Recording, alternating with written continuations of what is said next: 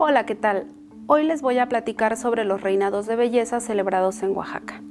Hace apenas unos días nos enteramos por la prensa de la convocatoria para la realización en la ciudad de Oaxaca de la final del certamen de belleza Teen University México,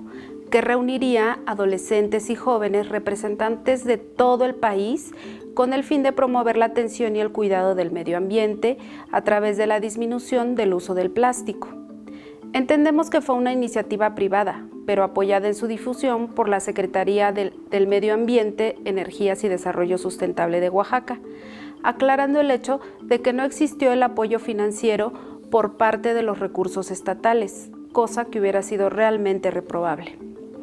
Inmediatamente las organizaciones de las mujeres de la sociedad civil nos manifestamos, ya que la celebración de estos eventos se contrapone a nuestra visión basada en la eliminación de estereotipos de género que han llevado históricamente por la cultura machista imperante al control y la violencia hacia las mujeres más aún cuando esta visión propicia la manipulación y generación de violencia de diferentes tipos en las mujeres. Hay que recordar que las adolescentes y jóvenes son uno de los sectores de la población más vulnerable a la violencia de género, el acoso y la violencia sexual y a la trata de personas.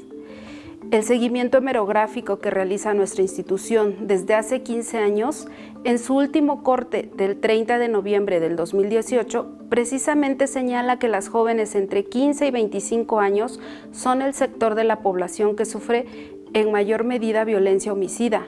con visos de comprobarse feminicidios o muertes de mujeres por el solo hecho de serlos. De igual manera, nuestro reclamo fue en el sentido de que la legislatura actual, constituida en su mayoría por mujeres, representa propuestas de ley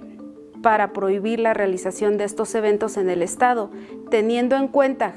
que en Oaxaca y a partir del 30 de agosto pasa la declaratoria de alerta de género debido al número de muertes violentas de mujeres